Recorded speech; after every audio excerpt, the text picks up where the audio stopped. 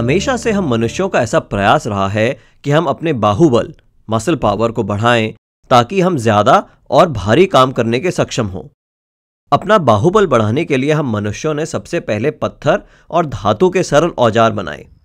फिर हमने जानवरों को पालतू बना उनकी शक्ति का इस्तेमाल करना सीखा, जैसे सामान ढोने के लिए बैलगाड़ी या घोड़ा गाड़ी का प्रयोग।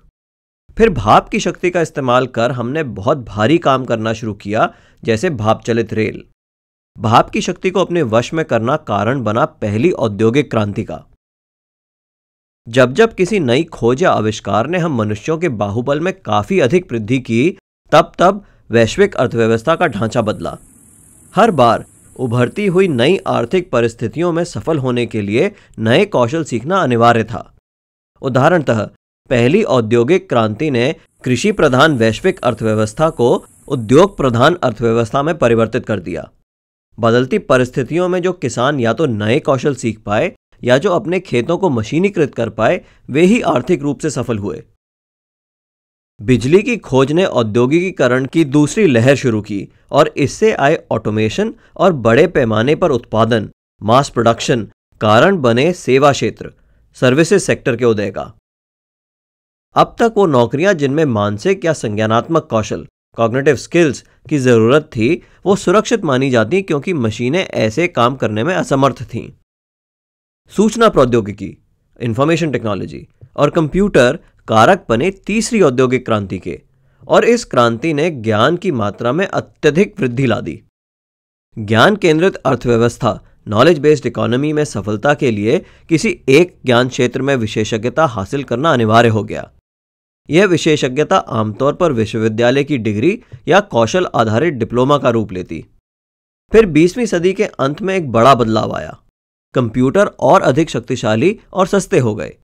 पुराने मेन फ्रेम कंप्यूटर की तुलना में अब एक आम मोबाइल फ़ोन में अधिक कंप्यूटिंग शक्ति विद्यमान थी। मशीनें जो अभी तक मनुष्य के बाहुबल को बढ़ा रही थीं, उन्होंने अब मानव के मस्तिष्क बल को बढ़ाना और प्रतिस्थापित करना शुरू कर दिया।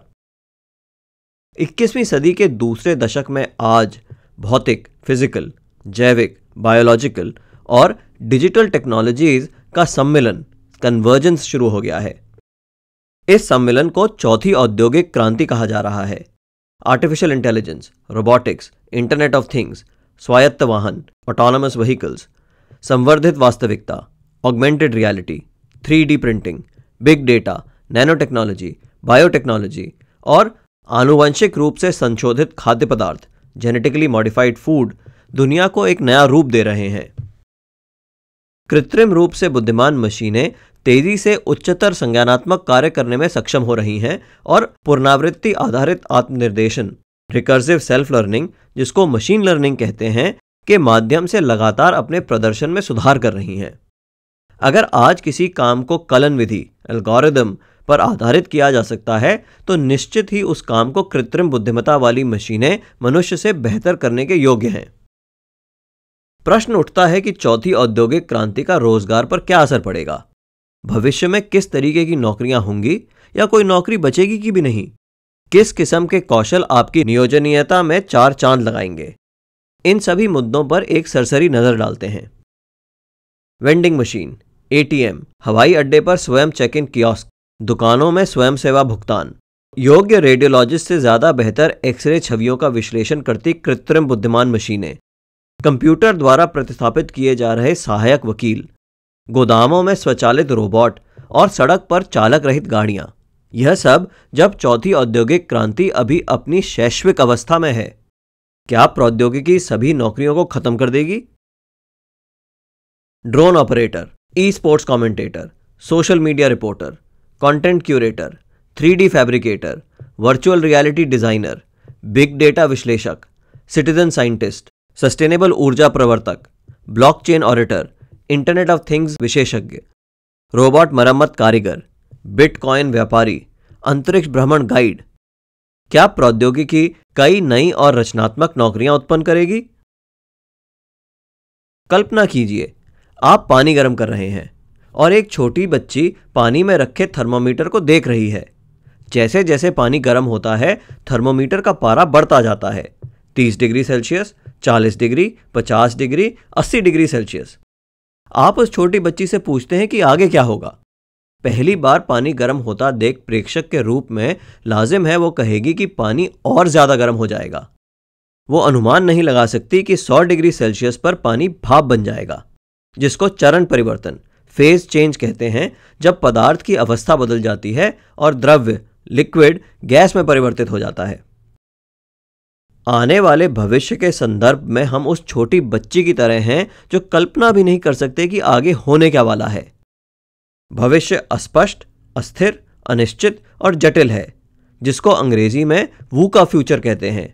Volatile uncertain complex and ambiguous क्या रोबोट और कृत्रिम बुद्धिमान मशीनों का उदय और इनका परिणाम भारत में उसी समान होगा जैसे तकनीकी रूप से उन्नत देशों में हो रहा है? भारत की 90 प्रतिशत से अधिक आबादी या तो स्वयं नियोजित या असंगठित क्षेत्र में काम करती है।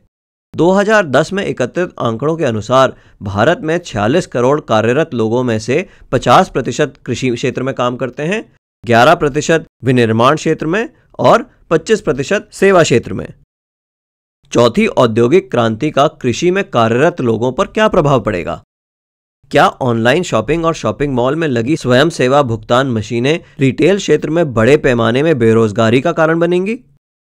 अगर ऐसा होता है तो भारत के लिए कई नई परेशानियाँ खड़ी हो सकती हैं, क्योंकि भारत की दो तिहाई जनसंख्या 35 से कम उम्र की है और हर महीने साढ़े तीन करोड़ युवा अपनी अट्ठारहवीं सालगिरह मनाते हैं। ये सभी एक अच्छी नौकरी पाने के उत्सुक हैं। अगर भविष्य में इनके लिए नौकरियाँ नहीं रहीं तो भारत में सामाजिक अशांति फैल सकती है। युवा आबादी भारत के भविष्य के लिए या तो अत्यंत लाभदायक या एक टाइम बम सिद्ध हो सकती है। अच्छी खबर यह है कि उभरती प्रौद्योगिकी के कारण नौकरियाँ खत्म नहीं हो रही। इनका स्वरूप बदल रहा है। अगले प्रकरण में हम देखेंगे कि किस किस्म की नई नौकरियाँ उभर रही हैं और इन्हें पाने के लिए किस किस्म के नए कौशल सीखना अनिवार्य होता जा रहा है।